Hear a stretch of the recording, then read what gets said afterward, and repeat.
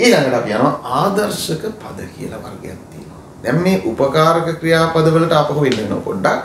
උපකාරක ක්‍රියාපද වලින් මෙන්න මේ වගේ අපි කරේ පුද්ගලයා ක්‍රියාව පුද්ගලයා తত্ত্বය මේවා සම්බන්ධ කරන්නේ. සම්බන්ධ කරන එකේ තව වෙන දේවල් ගොඩක් තියෙනවා. ක්‍රියාවේ positive meaning, negative meaning, question, negative question. මේවා නිර්මාණය කිරීම.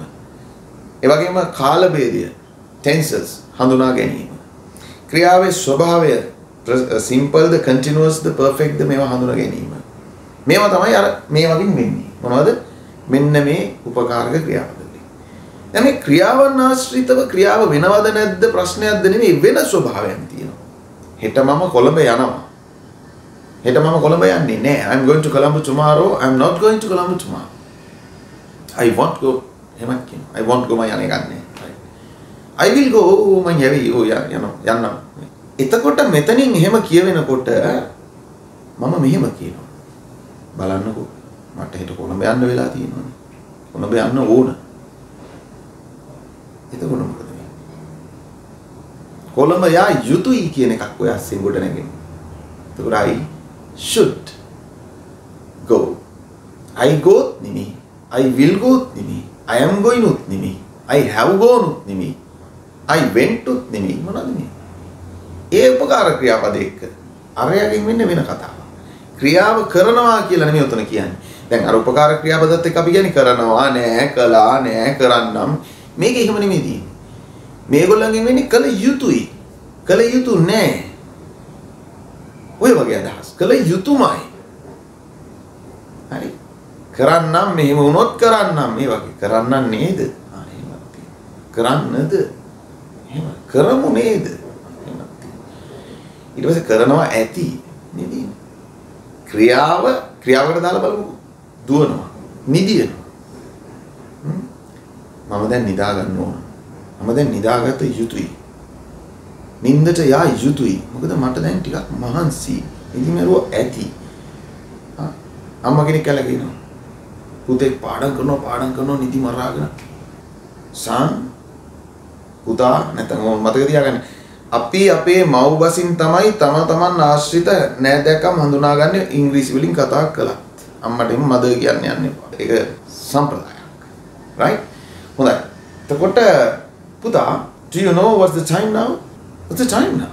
See, almost one. Almost one. එකට කිට්ටුයි. එකයි. එක වගේ නේ. එකට ඔන්න මෙන්න. If you do like this, if you do like this, you will be sick. අන්න sick. එකේ future එක කිව්වා. I am sick, you are sick නෙමෙයි you will be sick. පල්ලෙට වෙයි. I think you should sleep now. මම හිතන්නේ ඔයා දැන් නිදා ගන්න ඕනේ. I අන ඕනේ. ඕනේ කියලා I want එහෙම දාන්නේ. I want you to sleep ඒ වෙන කතාවක් තියෙන එක වෙනයි. You won't sleep එකක් නෑ. උට නිදා ගන්න ඕන. නිදා ගන්න. එහෙමත් නෑ. දැන් මේක මොකක්ද කියන්නේ? මට මං හිතන්නේ වා නිදා ගන්න ඕන දැන්. ඕන කියලා කිව්වට මෙතෙන් එන්නේ මොකද්ද? I think you should sleep now. You can wake up early in the morning, then after that you read the books. You study. No problem. Now you should sleep. දැන් වා නිදා ගන්න ඕනේ. should I pay this bill? මේ bill එක මම ගෙවන්න ඕනද? මේ බලන්න මේ විදිහට මේ ආදර්ශක ක්‍රියාපද කියලා අපි මේවට කියනවා. ක්‍රියාවන් ආශ්‍රිතව පවතින වෙනත් ස්වභාවයන් ටිකක් තමයි ඕකෙන් කියවෙන්නේ. May I come in sir?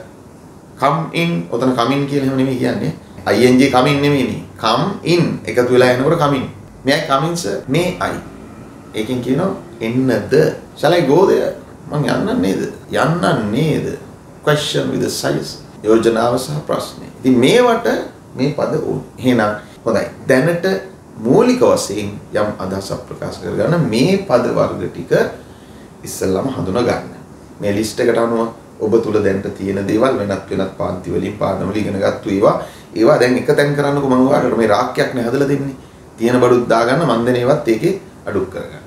right. එහෙනම් මේ වැඩේ කරන්න මේ ආශ්‍රිතව Tamanට දැනට දැනෙනවා නම් යම්කිසි වාක්‍යයක් දෙකක් නිර්මාණය කරලා කමෙන්ට් කරන්න.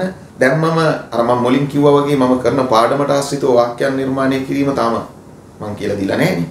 ඒ නිසා ඒවා කරන්න අවශ්‍ය නැහැ. ඔබේ වෙනත් අදහසක් මොනවා හරි තියෙනවා නම් මෙන්න මේ ක්‍රියාව මේක ක්‍රියාපදයක්ද මේක නාමපදද එහෙම තිබුණොත් ඒවා කමෙන්ට් කරන්න. ඒ වගේම සමහර පද තියෙනවා දැන් water කිව්වොත් එහෙම water කියන්නේ වතුර. හැබැයි water කියන එකේ verb එක ඒක මොකද්ද වතුර දානවා. එහෙමත් පද තියෙනවා. හරි?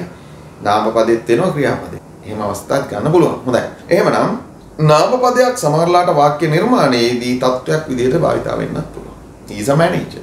He pronoun එක is helping verb එක a article එක manager position එක. status. noun be status කියන ගණයට තමයි ඒක වැටෙන්නේ. noun be status. noun be noun noun be status noun be adjective එහෙම තියෙනවා ගොඩක්. ඉස්සරහට ඉගෙන ගමු. හොඳයි. එහෙනම් see you next time. Thank you very much for watching this video.